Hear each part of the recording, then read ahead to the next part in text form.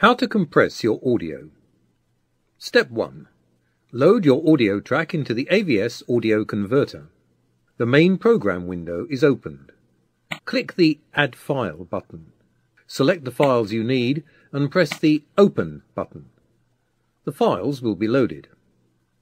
Step 2. Select a desired format. Click the button corresponding to the output format which suits best for the compression.